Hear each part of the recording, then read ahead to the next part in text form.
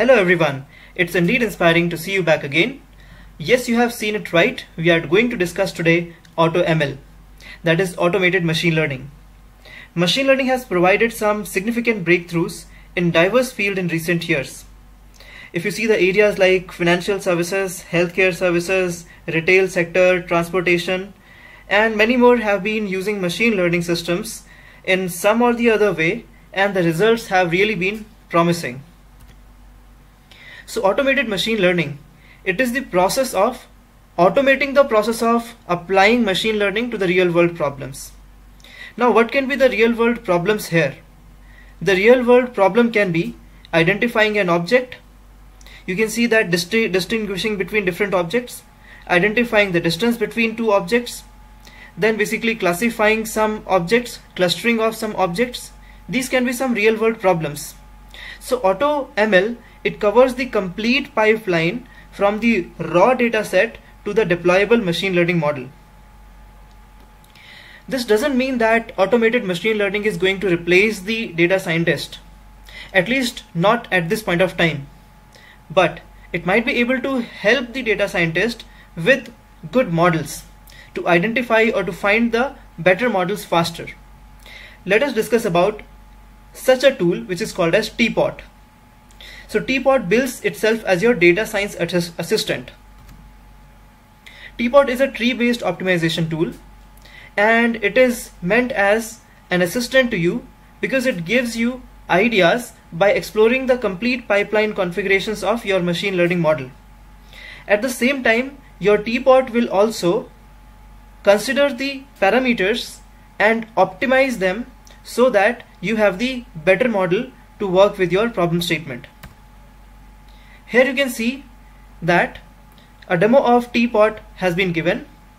So what its developers call that TPOT has got genetic search, search algorithms to find the best parameters and better model ensembles. So you can think it as a natural selection or evolutionary computing. I will explain you about natural selection and uh, evolutionary computing or algorithms in another video. So TPOT tries a pipeline, it evaluates the pipeline's performance, it randomly changes the parts of pipeline while searching for a better solution. So in this demo you can see that it tries to do these operations and finally it gives us a, a solution which is having around 99% of accuracy. Here you can see that in this particular example we have the raw data. From the raw data we are performing data cleaning. This is the second stage data cleaning part. And then we have basically feature selection feature pre-processing and feature construction. So this is the part where basically we identify the features which are most relevant and we eliminate those features which are not relevant. And then these features are basically given as input for the model selection and then after the model is selected we have parameters or we call them as hyperparameters. So they are optimized so that we get the better predictions or better results. Once this particular operations are done then we have model validation part. So here we validate the model with the the results and the observed values are basically cross-checked so that we validate the model so here you can see that the TPOT automates the feature selection, feature processing, feature construction part. Then in the next stage model selection part and then the next stage is parameter optimization part. So this is the automation provided by TPOT. Let's have a look at another example. This is the example of TPOT pipeline. You can see that we have the entire dataset here but we have multiple copies of entire dataset and these copies can be passed to the next stage so next stage is basically your feature selection part. Okay. So how that that is done? So polynomial features. So pipeline operators modify the features here. And here PCA that is principal component analysis. So here modify the dataset flow through the pipeline operators. Okay. Then basically after that features are combined. Okay. Features are combined or you can say we try to finalize the features in the iterative or you can say uh, the upcoming stages. Okay. Then after after combining the feature next comes recursive feature elimination. Okay. So whichever feature is not basically relevant to predict the output we are removing that. So that is recursive feature elimination.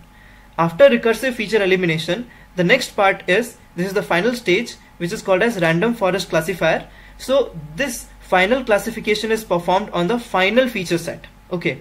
So this will finalize the feature set to be used for the analysis. Okay. Let us see here and understand it in a better way. So in four steps I have divided this.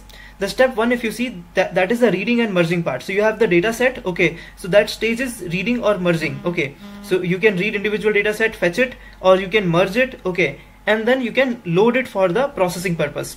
Before you process the data step 2 comes okay. Step 2 is basically pre-processing okay. So this pre-processing part is important. Why? Because this makes data healthy okay. Here you have operation like data cleaning and data encoding. So you are preparing your data for the analysis purpose. Step 3 is optimization. You can see step 3 is optimization. Here we perform feature selection we perform feature engineering and then followed by model selection. So in feature selection and feature engineering the weak features if you see they will be removed. Okay? The weak features which are not so relevant they will get removed. Okay? And then we will select the model which model is better for the problem statement which we have. After the model is finalized that model is then practically applied on real world applications or problems. And then we get the predictions out of these predictions then we try to interpret the predictions and try to understand that how the model is performing or you can say this is the validation part. Let us see some of the advantages of AutoML. Point number one is it increases the productivity. It automates the repetitive tas tasks therefore it increases the productivity it consumes less time and the focus of data scientists it is more on problems rather than choosing the model that which model is better which is not okay. So the the most of the focus now is on problems. Then next part is automating the ml pipeline also helps avoid the errors okay avoiding the errors. That is another important advantage. And finally i would say that it democratizes the machine learning.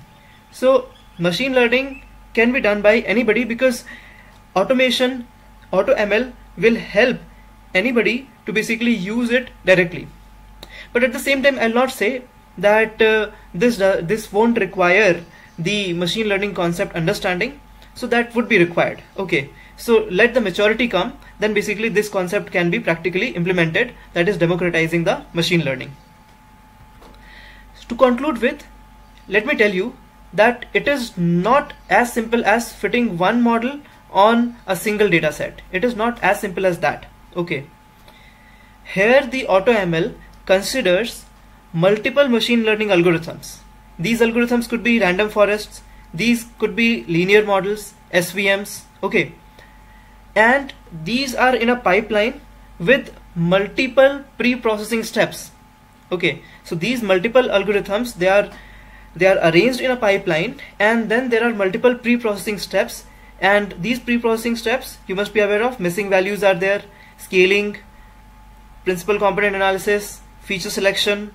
So these are the pre-processing steps involved. And after that, we have hyperparameters for optimizing that particular model. So for every model, we have different set of hyperparameters. Okay. So, so basically after do doing all this, then it decides that uh, whether it should be creating uh, an ensemble structure or basically it should create a stack of algorithms. Okay. So after that, it decides that's it for today. If you want us to make some practical videos for AutoML like we have TPOT or we have uh, AutoKeras or we have Google APIs as well, please write us on comment. We will surely come back with some practical videos as well. If you liked our video and would like to recommend it to your friends, please like, share and subscribe to Indeed Inspiring Infotech.